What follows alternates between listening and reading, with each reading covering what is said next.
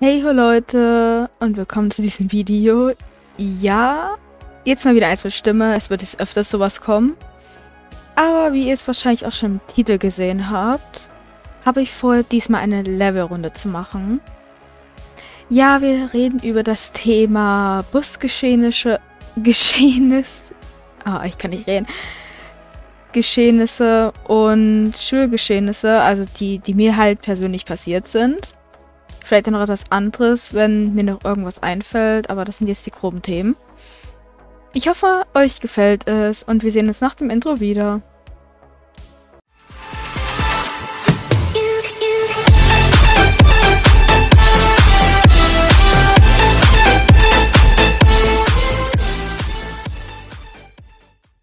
So.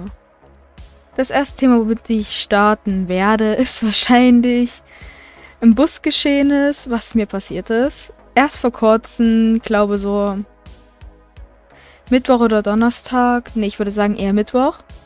Der Donnerstag ja erst äh, gestern war. Ist, ich nehme das hier gerade am Freitag auf. Kleine Info. Und ich habe so gesagt, naja, wie gesagt, ich soll vielleicht erst von ganz vorne anfangen. Von ganz vorne angefangen wäre es erstmal, dass ich zur Bushaltestelle gelaufen bin. Natürlich wie jedes normale Kind auf den Bus gewartet habe, vielleicht noch mit Freunden gequatscht habe in der Zeit. Da kam dieser Bus dann endlich mal an, nach so circa 20 Minuten warten, würde ich jetzt mal sagen. Und ja, wie gesagt, Kleine sind auch mit da. Also die Grundschule, ich bin ja Oberschule. Wir sind halt alle eingestiegen. Halt nicht zuerst die Kleinen, auch mal mit die Großen. Dass die auch mal mit zuerst eingestiegen sind oder halt mal so zwischen den Kleinen, wie man es kennt. Ich hoffe, ihr könnt euch das vorstellen. Ja, und ich war halt dann so, glaube die dritte, die da so reingekommen ist, weil ich so zwischen den Kleinen halt standen, da reingegangen bin. Und da sagt dann plötzlich die Busfahrerin, könnt ihr Großen nicht mehr warten, ne? Da denke ich mir nur so, hallo? Wer denken Sie, wer Sie hier sind? Kennen Sie den Schulablauf? Kennen Sie den Busablauf? Den wir hier jeden Tag vollbringen, schon seit achteinhalb Jahren? Ich habe mich da einfach nur innerlich aufgeregt. Und das war nicht das erste Mal, dass es passiert ist. Es war schon dreimal davor. Und nach diesem Tag, am Donnerstag war es, das weiß ich noch ganz genau, ist ein großer vor den Kleinen, also ganz vor den Kleinen eingestiegen. Ich glaube, der war so 9.10. Weiß ich jetzt nicht mehr ganz genau. Und da sagt die Busfahrerin dann erstmal so, nee, du gehst jetzt raus. Zuerst die Kleinen rein. Ihr müsst warten. So ungefähr hat die das gesagt. Ich weiß nicht, was bei der im Kopf los war. Was denkt die sich? kommt jetzt nur von meiner Seite so im Kopf rüber. Ich habe mich einfach nur so genervt von ihr gefühlt. Ja, da ist der halt rausgeschickt worden. Der hat auch noch ihr so persönlich gesagt, also nicht nur gedacht, sondern gesagt. Äh, wie, was los oder irgendwie sowas. Ich kann mir das nicht erklären, was ist denn mit ihr los? Wenn wir von der Schule schon jetzt nach Hause fahren wollen, da ist so ein extra Bushalteplatz bei uns an der Schule, da müssen wir schon die Kleinen vorlassen. Und um drei sind das so viele, so viele, über 20 Kinder oder mehr, da ist der ganze Bus voll. Und das ist so ein doppelter Bus. Ich sage jetzt also mal die ganzen Kinder, halt auch ich und meine Freunde sagen dazu Schlenki-Bus. Ich weiß nicht, ob ihr wisst, was ich damit meine. Ich hoffe mal ja. Und ja, der war halt auch bis fast hinten gefüllt. Okay? Wir Großen sind ja auch viele, da ja halt auch viele da mit in der Oberschule sind. Wir sind jetzt zwar nicht so viele, aber es mussten viele von uns da immer stehen. Einfach nur, weil nicht so viel Platz ist. Oder über erlaubt sich dann halt auch noch die Busfahrerin, den einen großen rauszuschicken, wo wir einfach mal einmal sitzen wollten in einem Bus und nicht ständig stehen wollen. Das ist auch mal wieder anstrengend so zu stehen, also unbequem auch irgendwie. Wenn er dann so plötzlich anhält und du bist so richtig eng aneinander, steht ihr da. Und dann hält er so plötzlich an, ne? Und du musst dich da festhalten irgendwo, dass du nicht irgendwie in andere reinfällst. Es hat mich einfach nur genervt. Ja, ich kann dazu nicht mehr sagen. Schreibt mir doch gerne eure Meinung dazu in die Kommentare. Es hat mich einfach nur so dermaßen genervt. Ich kann diese Busfahrerin bisher immer noch nicht leiden. ja. Ich kann dazu nicht mehr groß sagen. Ich hoffe, ihr habt das Geschehen verstanden. Ich kann sie nicht leiden. Und noch schon mal so im Voraus, ich möchte mit diesen, was ich hier erzähle, keine Person angreifen oder so. Es soll einfach nur straight zur Unterhaltung gehen, äh, dienen. Genen, what? Okay, kommen wir zum nächsten Geschehnis. Habe ich das richtig ausgesprochen? Egal. Das waren jetzt, das sind jetzt, glaube ich, zwei Schulgeschehnisse, die ich jetzt hier auflisten werde. Und zwar einmal, das war, glaube ich, erst so, nein, das, dieses Geschehnis ist mir innerhalb zwei Wochen passiert. Diese Woche hier mitgezählt, also ich nehme das hier gerade am 8.4. glaube ich mal auf. Wenn ich richtig, wenn ich richtig denke. Und zwar haben wir da wie ganz normal andere Schüler Arbeiten geschrieben. Man kennt's. Und natürlich haben wir die Arbeiten auch zurückbekommen. Bei der ersten Arbeit, ich glaube, das war sogar in Physik, da hat mir ein Punkt zur besseren Note gefehlt. Ein Punkt. Das muss man sich mal so vorstellen. Ein Punkt zur besseren Note. Ich habe mich da so geärgert. Ich sage jetzt nicht, welche Note es ist. Ich möchte keine Kommentare irgendwie dazu er erfahren, dass sie besser sind oder so. Ich sage einfach mal einen Punkt zur besseren Note. Es könnte jetzt auch eine 2 gewesen sein und ich, mir hätte ein Punkt zur besseren Note gefehlt. Das wäre dann die 1. Aber halt ein Punkt. Und so circa eine halbe Woche später, also wir haben dann so ein paar Tage später eine Bioarbeit geschrieben, Klassenarbeit, glaube ich. Und die haben wir dann halt auch wieder bekommen. Natürlich hat es wieder etwas gedauert, weil wir haben ja nicht immer jeden Tag darauf gleich wieder Bio und dann hat sie es nicht alles gleich kontrolliert und so weiter und so fort. Ja, und dann kam es halt dazu, dass ich die zurückbekommen habe. Natürlich als letztes von allen. Wieso weiß wer wohl? Ja, die Lehrerin wahrscheinlich. Meine Arbeit lag halt ganz unten. Ich war die letzte, die es bekommen hat. Ja, und dann sagt die Lehrerin so zu mir, echt schade. Dann schaue ich so hinten auf die Punktzahl, weil auch die Punkte, Punktzahl dahin geschrieben wurde, also welche Punktzahl ist eine bessere Note. Ich habe mich so geärgert. Ich habe mich so geärgert. Jetzt denkt ihr bestimmt ein Punkt zur besseren Note. Nein, noch besser.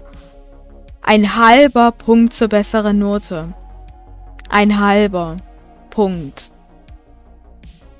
Ich habe mich so dermaßen geärgert. Noch mehr als wo mir nur ein Punkt gefehlt hat. Ein halber Punkt zur besseren Note. Ich habe mich auch aufgeregt, einfach nur. Ich habe mich einfach nur geärgert, weil... Ich weiß, nicht, was der Lehrerin da in den Kopf gekommen ist. Ich weiß nicht, ob die sich auch für mich geärgert hat. Aber ja, wer weiß. es war halt schon mega sad. Einfach so ein halber Punkt. Erst ein ganzer Punkt zur besseren Note, jetzt ein halber.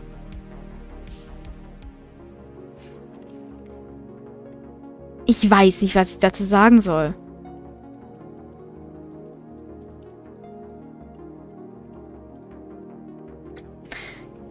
Also, wie findet ihr das denn mit dem Punkt und der halben Punkt, den halben Punkt? Der halbe Punkt? What? Egal, ähm, halt ein halber Punkt zur besseren Note, das ist ärgerlich. Wie hättet ihr euch da in dieser Situation gefühlt? So, das dritte Geschehnis war sogar erst heute. Und wie gesagt, ich will damit keine Person angreifen oder irgendwie so etwas Böse über die erzählen. Und zwar für diese Geschichte nenne ich diese Person jetzt einfach mal Kai. Genau, diese Person heißt jetzt einfach mal Kai. Und zwar war es in Physik. In Physik haben wir so eine tägliche Übung geschrieben, die manche dann noch abgeben mussten. Ich war auch dabei, natürlich wie immer schlecht ausgefallen. Und ich habe dazu nur so viel gesagt, dass wir nach der TÜ, also nach der täglichen Übung, ein neues Stoffgebiet angefangen haben. Das war mega einfach. Wirklich so mega einfach. Es war einfach nur Plus- und Minus rechnen. Also dieses Umrechnen da. Ich fand es so einfach. Andere fanden es sogar auch einfach, da ich die anderen Rechnungen davor nie verstanden habe. Also, ich weiß nicht, was ich das sagen kann. Es war einfach nur einfach.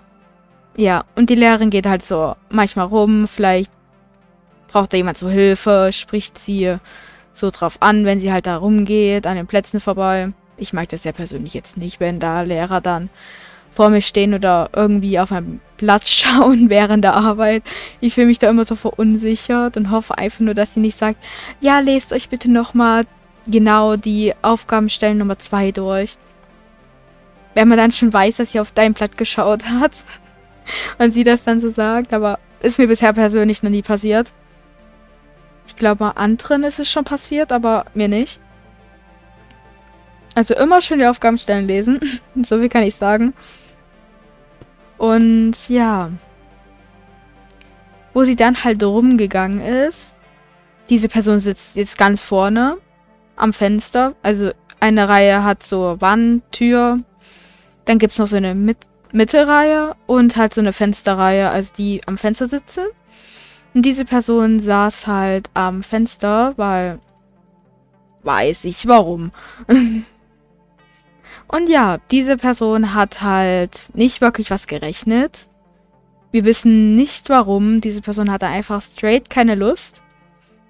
Die Lehrerin ist eigentlich voll nett. Also hat ihn, es, dann auch darauf hingewiesen, dass er vielleicht da auch mal etwas schreiben könnte. Also ganz nett eigentlich. Also hat zuerst gefragt, warum diese Person jetzt nichts schreibt. Und halt, ja, er hat dann halt auch dran ge drauf geantwortet. Ich habe jetzt nicht ganz gehört, was er gesagt hat, da ich auf der anderen Seite sitze, also an der Bandreihe. Ganz vorne. Ich habe es leider nicht gehört, aber ja. Das war halt das erste Mal, dann ist sie halt weitergegangen. Wieder ganz normal nach hinten, diese U-Form halt. Überall durch, hat so auf die Blätter von anderen geschaut, ob die es alles hinkriegen. Ja. Dann so circa fünf bis zehn Minuten später haben wir halt ich glaube mal, es waren eher fünf, weil zehn wären etwas lang, aber ja, da haben wir halt das damit so minus gerechnet, also umgerechnet, diese Formeln da, würde ich mal sagen.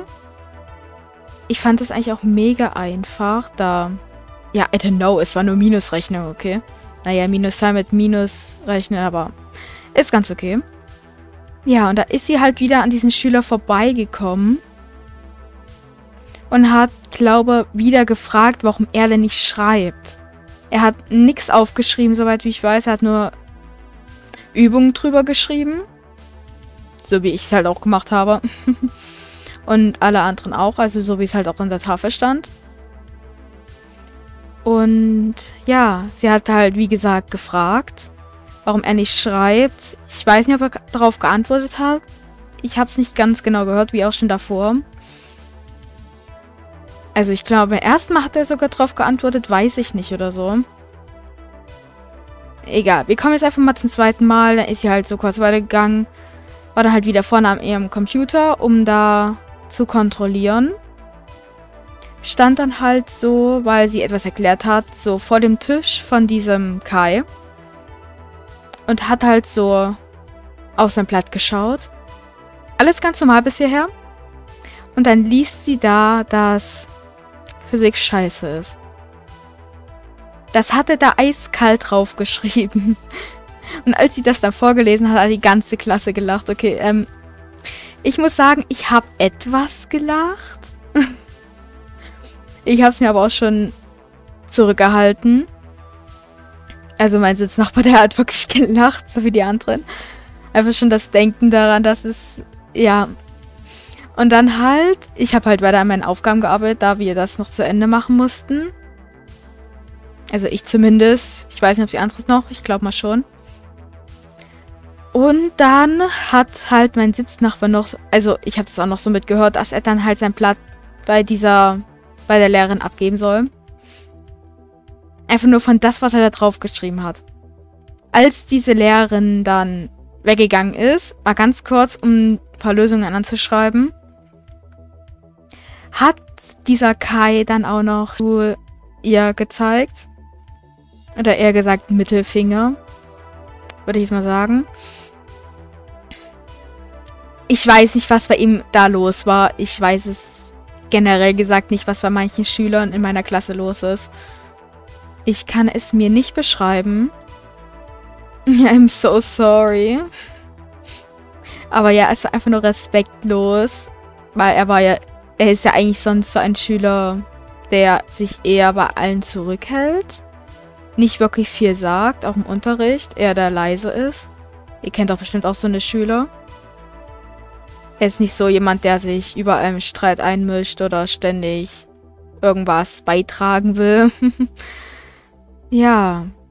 Dann ist halt die Lehrerin wieder zu ihm gekommen, hat sich wieder hingestellt, hat wollte ihn das Blatt wegnehmen. Und dann nimmt er dann noch so einen Stift und kritzelt da rum, um das da wegzumachen. Da hat sie dann, da hat dann noch die Lehrerin so gesagt, wegmachen musst du es jetzt nicht. Also, sie hat es ja schon gelesen, da bringt das ja wegmachen nicht mehr viel.